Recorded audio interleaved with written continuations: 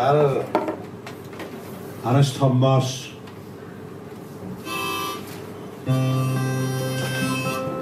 E, mi gyhoeddodd Aris Thomas gyfrol o gerddi yn y flwyddyn 1946, dwi'n meddwl. Ac yn y gyfrol honno, o gynnu fo ddwy bennill. Ac o dan y penillion, oedd o di sgwennu Translated from the Welsh Traditional. Ac yn yr agamadrodd i'r gyfrol gyn um, Sir John Betjeman. O hwnnw'n canmol ar Thomas i Cymyla. Ac yn ei ganmol o yn enwedig am y ddwy bennill yma. A dwi'n cofio i amser ddau rodaeth fel exquisite. Y ddwy bennill o from the Welsh traditional. Wel, dwi wedi bod yn chwilio am y gan Gymraeg draddodiadol reiddiol, a di methu cael hyd iddi. Ond, mewn un gyfrol, sef Blodeugerdd W.J. Griffith, a mi ddoth ar graffiad o'r Blodeugerdd honno allan yr unig flwyddyn, a mae'r ddwy bennill yn Gymraeg yn y gyfrol. Hen Fenillion di sgwennu o dan nhw. Dos ar un casgliad arall o hen Fenillion yn cynnwys y ddwy bennill na. Tis Parry Williams a neb. A dwi bron yn sicr na'r W.J. Griffith na yn mynd bennill. A dydyn nhw ddim... Uh, maen nhw'n rhy farddonol mewn ffordd i fod yn hen benillion gwerinol. A maen nhw'n dwys iawn. A maen nhw'n sôn am Gynarfon.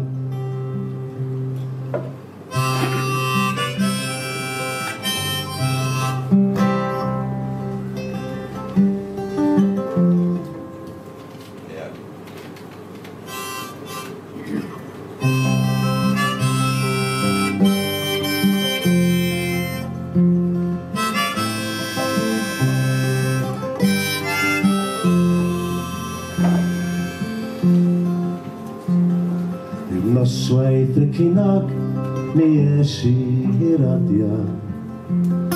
Ar lanau y fennau, gan ddistawn y fyrio. A gwynt oedd yn uchel, a gwyllt oedd y wendon. A'r mor oedd yn lluchio, dost walia Carnarfon. A'r mor oedd yn llichio, dros walia Carnarfon.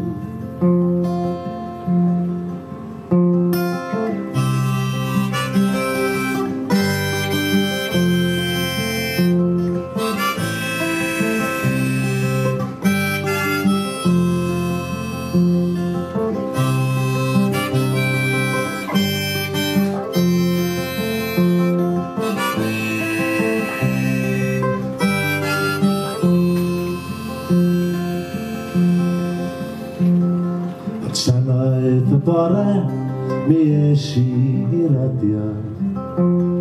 Ar lannau y fennau, tawelwch oedd yno. A gwynt oedd yn ddistaw, ar mor yn dirio. A'r hael yn cysgu ar walia Carnarfon. A'r hael yn cysgu ar walia Carnarfon.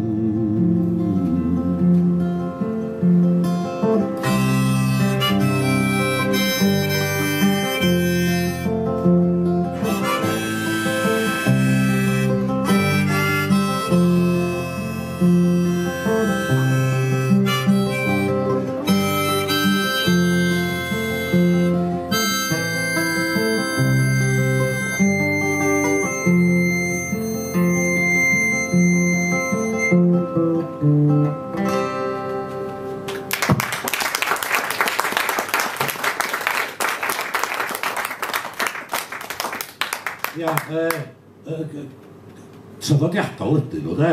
Felly mae W.J. Griffith yn honni, a mae gynnon ni hawl ni ddihonglwrs i ddihongli caneuon traddodiadol newid chi bach ar y geiriau yn ôl y gofyn ac e, y geiriau gwreiddiol yn yr ail bennill ydy um, e, y gwynt oedd yn ddistaw a'r môr oedd yn dirion a'r hael oedd yn twynnu ar waliau Canarwan. Mae twfnu mae'r ail de. Ac yn, yn ereithiad ar Es Thomas, the sun was slumbering on Carnarvon Wall. A mae hynny'n ragori, dwi'n meddwl. A dwi wedi newid uh, tywynnu i cysgu. Mae'n iawn dwi.